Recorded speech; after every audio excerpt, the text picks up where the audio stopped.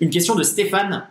Stéphane qui est le gars du podcast, c'est la personne qui, euh, qui m'aide euh, avec la création hein, des podcasts, euh, c'est celui qui s'occupe des chapitres, c'est celui qui s'occupe de la prise de notes, certaines prises de notes, de récupérer le livre, les routines, etc. donc voilà, une petite, petite pensée pour toi mon Stéphane et j'avais envie de t'honorer dans, dans ce podcast. Il y a la page de l'équipe qui va arriver sur le site qui est en construction. Donc euh, d'ici la sortie du podcast et peut-être euh, une semaine après, ce sera déjà tout en ligne. Donc n'hésitez pas à regarder et vous allez découvrir un peu le, voilà, les gens qui, m'aident et, euh, et, voilà le type de movers qu'ils sont. Donc la question de Stéphane. Salut Slim, quelles sont d'après toi les bonnes pratiques et postures à adopter pour les entrepreneurs qui travaillent beaucoup derrière leur ordinateur? Est-ce qu'il y a un temps maximal pour rester assis? Comment éviter les raideurs au niveau des épaules et un mal de dos? Merci d'avance. Une excellente question Stéphane et comme tu le sais, et je, me permets de, prendre quelques secondes pour le répéter aux gens qui pensent que tout ce que je partage, euh, eh ben ça se fait tout seul. Non, ça se fait pas tout seul. Je suis littéralement assis derrière mon ordi à taper de mes petits doigts tout ça. Donc, ça veut dire que je suis également soumis à euh, cette partie de, l'existence euh, moderne derrière l'ordinateur. Donc, pourquoi j'insiste là-dessus, c'est que euh, voilà, je, pratique ce, que je dis, je dis ce que je fais et je fais ce que je dis. Donc, les raideurs aux épaules, les, les, petites douleurs au mal de dos, moi aussi, je vais potentiellement y être soumis, vu le nombre d'heures que je passe derrière l'ordinateur tous les jours. Là, comme tu peux le voir, si tu regardes la vidéo YouTube, voilà, moi je suis assis en tailleur, je, me déplace en permanence, je suis au sol, euh, l'ordinateur est à peu près à la hauteur de mes yeux, j'essaie toujours d'avoir quelque chose qui est à la hauteur de mes yeux. Et si je peux pas, si je suis dans un café, eh bien je m'adapte. Euh, mais voilà, on y est tous soumis, peu importe le niveau de mobilité, de souplesse, d'aisance et de conscience corporelle. D'accord? Là, ce qu'il faut distinguer, c'est il faut distinguer le niveau du pratiquant, de la pratique et des exigences du monde réel. Peu importe ton niveau de force que tu développes à la salle, si tu fais de l'haltérophilie, ton niveau de mobilité si tu pratiques au quotidien les routines, si tu passes euh, je sais pas moi, 8 heures assis dans une voiture parce que tu es en train de faire, je sais pas moi, Paris, euh, Amsterdam en voiture, eh bien, il y aura des raideurs, il y aura des gènes, il y aura des restrictions. D'accord? Donc encore une fois, tout l'entraînement qu'on fait, l'entraînement physique, ajouter de la conscience à ces entraînements, gagner en conscience corporelle, améliorer les amplitudes de mouvement, tout ça, c'est un travail qui est essentiellement préventif. C'est le travail qui va t'aider à déceler les chocs quand ils vont arriver, à réduire les dégâts euh, des raiders ou des potentielles blessures qui vont arriver. On ne peut pas les empêcher. Ça n'existe pas le, le zéro blessure, zéro douleur maximale. Par contre, le fait de répéter un peu tous ces entraînements, toutes ces routines, etc. au quotidien, ça te rend en fait à l'épreuve de tout ça. Ça te rend tellement résilient. Tu es, à même d'avoir un système de notification surdéveloppé dans ton cerveau pour savoir quand est-ce que tu rentres un peu dans un, dans un mécanisme de raideur, quand est-ce qu'il y, y, a une partie de ton corps qui est totalement étouffée et atrophiée parce que tu as un système qui te le dit en permanence. Oula, attention Slim, t'es assis, tu fais ta foire aux questions, le genou gauche il commence à crier. Ok, changeons les jambes, tendons une jambe, mettons le, le pied en dessous, euh, roulons un peu sur le tibia. Et en fait, tout ça, c'est ça qu'on appelle la conscience corporelle et c'est ce dialogue en fait interne qui est permanent. Donc, le travail qu'on fait en amont, il n'est pas là pour empêcher euh, les dégâts, les effets néfastes un peu de cette sédentarité, etc. Par contre, il est fait pour les contrer, pour avoir une armure et des armes de poing pour les combattre. C'est-à-dire que quelqu'un comme moi qui s'entraîne 4 heures par jour en moyenne, qui semble avoir une routine bien établie le matin, qui se lève tôt, qui dort tôt, etc., il n'en reste pas moins que je passe du temps devant l'ordinateur. D'accord? Que je passe un temps fou et que des fois j'ai le dos, le haut du dos courbé, que des fois je suis pris dans un email ou dans quelque chose et que j'écris, j'écris et il y a une partie de mes notifications que je décide de mettre en silencieux pour privilégier le travail et après par la suite j'ai une petite raider. Donc c'est de nouveau un rappel que Slim, encore une fois, tu dois faire l'effort de mettre l'accent sur ta santé. Bref, on y est tous soumis. D'accord? Alors évidemment, si tu, tu as plus de temps de pratique, que tu as fait ce travail en amont pendant plusieurs années, ce qui est mon cas, Évidemment, voilà, si tu passes, je sais pas moi, trois heures d'affilée sur l'ordi sans avoir pris de pause, eh bien évidemment que moi, le lendemain, la raideur, elle va partir en peut-être cinq minutes. D'accord? Mais ça, ça vient avec les années, ça vient avec l'expérience. C'est juste que tu es beaucoup plus résilient, tu es beaucoup plus robuste, robuste pardon, et tu es euh, antifragile. Voilà, pour reprendre un des mots qui, qui tombe souvent sur le podcast, tu es antifragile. C'est-à-dire que ça peut t'arriver, ça va t'arriver, par contre, tu as une capacité à résister, à amortir le choc en permanence. Donc, maintenant que ça s'est dit, pour revenir à la question, aux questions euh, de Stéphane, je ne pense pas qu'il y ait un temps maximal pour rester assis. Comme je te le disais, je pense que ça a à voir aussi avec voilà les différents paramètres, euh, la chaise, le, bureau debout, euh, où est-ce que l'ordinateur est, ton niveau de conscience, de mobilité, de force, etc. Alors il y a évidemment des petites recommandations un peu générales du type voilà toutes les heures, toutes les heures 20, tu te lèves, tu marches, etc. Moi je ne peux que valider ce genre de recommandations parce que même si elles n'ont aucun background scientifique et, et preuve euh, tangible, elles quand même elles servent mon propos qui est d'inciter les gens et de les inviter à remettre du mouvement dans leur quotidien. Donc voilà, si tu, me sors un article qui dit que toutes les heures et demie il faut se lever, je vais te dire oui. Et si tu m'en sors un autre qui te dit que toutes les 45 minutes il faut le faire, je vais te dire oui également. Voilà. Après, comme je viens de te le dire, dépendant de, de, la phase dans laquelle tu es, moi, ce qui est mon cas, je vais être honnête, il y a des fois, j'ai un flow, je suis dans un moment créatif, je vais pas me lever. Je vais volontairement choisir de faire cette action parce et même si après je vais en payer les conséquences, comme ces conséquences-là, elles sont à ce niveau de mon développement et à cette phase de la vie dans laquelle je suis, elles sont totalement négligeables par rapport au reste de ma journée. En tout cas, moi, mon ressenti, il l'est. ça se trouve, dans 20 ans, je vais payer les pots cassés. Mais je ne pense pas. Euh, mais voilà. Et aussi parce que je sais que je peux baser un peu mon, euh, mon état de, de, de, santé de nouveau sur une discipline qui est ancrée depuis des décennies. C'est-à-dire que voilà, si je m'autorise à faire 4 heures assis à écrire un chapitre d'un livre, par exemple, et que je me dis, vas-y, c'est pas grave, euh, un peu fonce dans la dans la dans la micro douleur que tu ressens et, éteins les notifications de, de, de, du haut du dos qui te dit attention Slim, il faut faire une petite extension, il faut faire une petite rotation à droite parce que là on commence à avoir une petite poche de pression qui se crée. Je sais qu'après le lendemain je vais quand même faire mes 15 minutes de mobilité, je sais que je vais quand même voilà faire mes euh, mes entraînements, je sais que je vais avoir cette partie respiration, cette partie régénération du corps. C'est quelque chose qui est tellement euh, avec moi au quotidien que voilà, je peux m'autoriser de temps en temps de partir un peu dans un extrême parce que je sais que je vais pouvoir euh, y revenir. Voilà un peu la manière, je pense, d'aborder cette question de est-ce qu'il y a un temps maximal pour rester assis. Comme d'habitude, il n'y a pas de réponse absolue.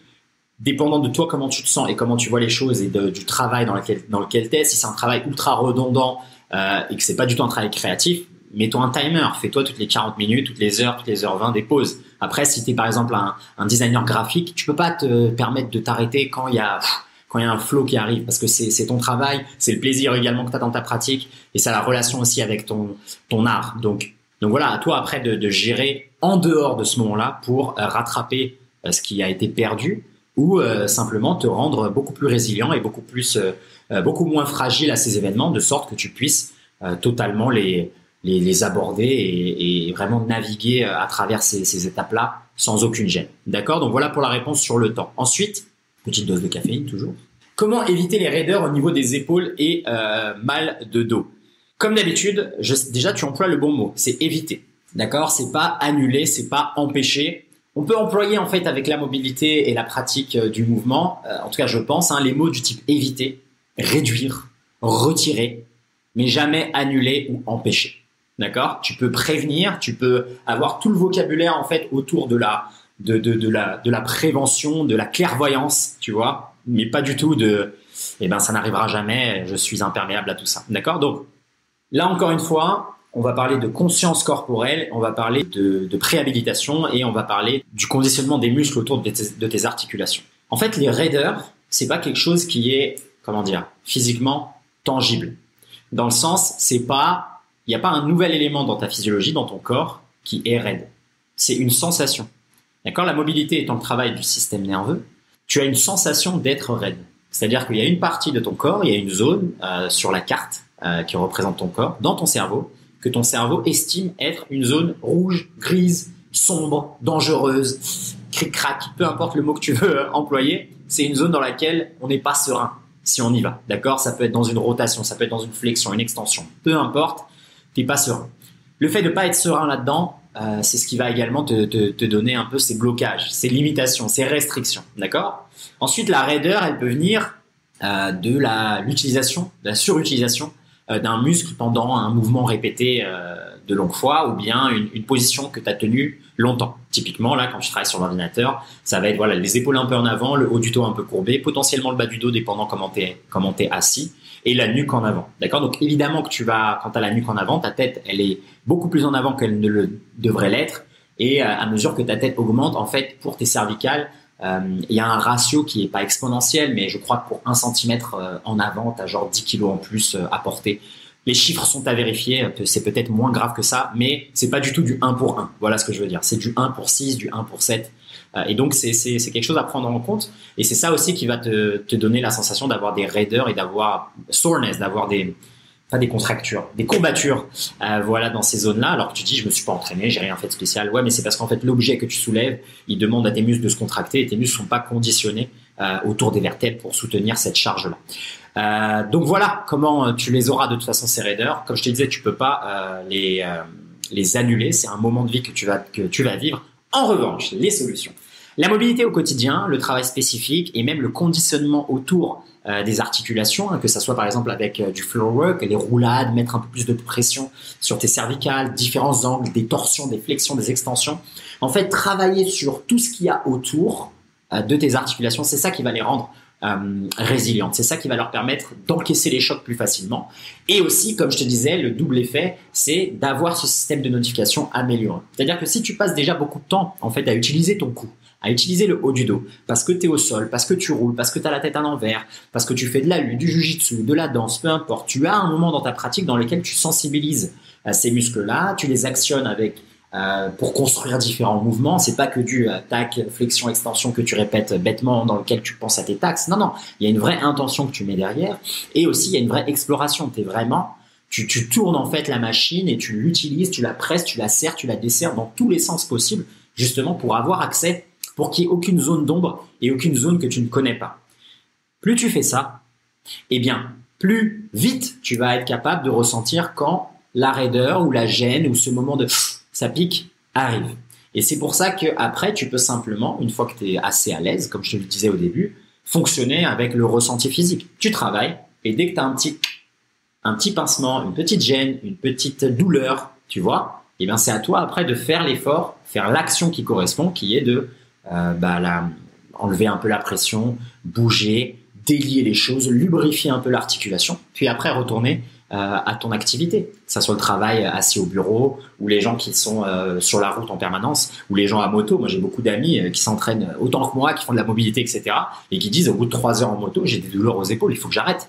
Donc, il y a des choses comme ça aussi où, comme je te le disais, il y a des exigences physiques dans ta journée, dans ton travail, qui c'est pas qu'elles sont pas naturelles, c'est qu'en fait elles, mettent du stress qui euh, pour lequel le corps, s'il n'est pas entraîné pour, eh ben il va toujours avoir du mal à, à s'adapter. Tu vois, euh, typiquement si tu as une vie euh, sédentaire en ville, il suffit qu'un jour, euh, bah, je sais pas moi, il y a plus d'essence dans la voiture ou je sais pas, tu es bloqué en campagne et que tu dois marcher. Alors que marcher, tu le fais, tu penses le faire souvent, eh bien tu vas avoir des courbatures, des douleurs, des raideurs, et tu auras des problèmes qui vont se révéler. Ça ne veut pas dire que toi, tu es spécialement euh, faible, mais c'est juste que ton corps, en fait, il est plus du tout adapté à ces pratiques-là. Et donc, pour éviter euh, les raideurs au niveau des épaules, les mal de dos quand tu travailles beaucoup sur le bureau, il faut dédier du temps dans sa pratique physique à euh, améliorer ça, à booster ça, à renforcer ça. C'est aussi simple que ça. Au bout d'un moment, faut, faut, je pense, hein, il faut faire l'effort intellectuel et l'honnêteté de se dire, il faut que j'arrête d'espérer qu'il y ait une solution à quelque chose que je fais pendant 5 ans, 10 ans, 15 ans, qui va arriver comme ça. D'accord? Si tu passes 15 ans assis au bureau, tu es une machine d'adaptabilité pour être assis au bureau. Donc tu as des raideurs, tu as des courbatures et ta colonne elle est déjà en position pour te dire ok maintenant tu vas faire que du bureau. Si tu veux délier ça, si tu veux vraiment te réouvrir et, redonner au corps toutes ses amplitudes et, toute sa capacité, tout son espace qu'il peut prendre, ça va pas prendre euh, deux minutes, tu vois. Et donc là c'est un peu la même chose.